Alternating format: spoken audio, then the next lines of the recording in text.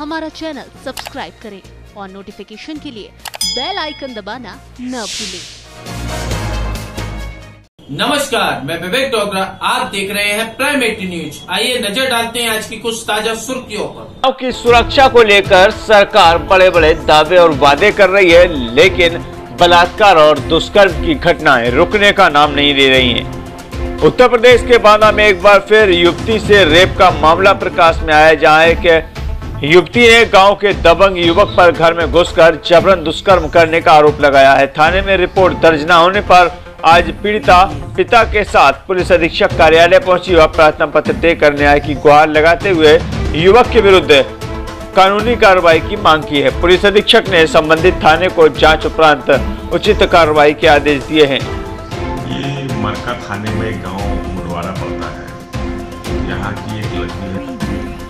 अठारह साढ़े अठारह साल की इसकी उम्र है। इसने ये आरोप लगाया है कि एक लड़का रंजीत, पुत्र भगवान दिन, जो इसी गाँव का है, जिसके द्वारा इसके साथ बलात्कार किया गया है। और पुलिस ने अपनी छानबीन में ये पाया है कि शायद पहले से इनका कोई प्रेम प्रसंग चलता रहा है, फिर किसी भी बात को लेकर इस तरह की बात सुनने में आई है। पुलिस पुलिस की छानबीन कर रही है।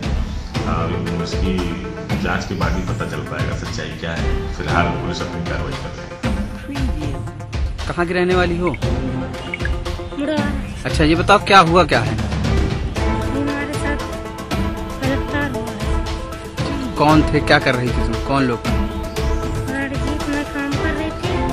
ना मेरी माँ धान काटने चली गई तब आए थे। मैंने एक काम कर रही थी। अकेले सोचकर मेरे घर में घुस आया अंदर से कुंडी बंद फिर? और कुंडी बंद करके फिर मेरे साथ मैं चिल्लाई ज़ोर से। तो एक दो चार झापड़ मेरे मारा मुँह बाँध दिया दुपट्टे से। मुँह बाँध कर मुझे ज़मीन पर गिरा दिया। और मेरे कपड़े उतार कर मेरे साथ बलात्कार किया। सात आठ मिनट तक किया। इतने में मेरा भाई स्कूल से आ गया। बाद?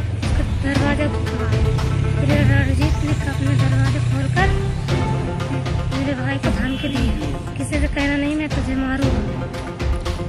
साहब इतना धमकी देकर चला गया कि तुम आई एफ़ आर करोगे तो मैं तुझे जान से मार दूँगा। तो इसके बाद थाने गई थी तुम? हाँ हमने थाने गए थे। क्या कह रहे थे दरोगा जी? दरोगा जी तो पचास लाख हज़ार रुपए ले लो सुलह हो जाओ। कौन कह रहा था ये? दरोगा।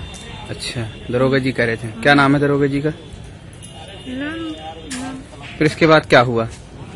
फिर हमने कहा कि हम नहीं सुलह होंगे हमारे साथ हुआ हम सुलह नहीं होंगे।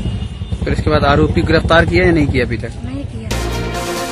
देश और दुनिया की तमाम छोटी बड़ी खबरों से अपडेट रहने के लिए हमारा चैनल सब्सक्राइब करें और नोटिफिकेशन के लिए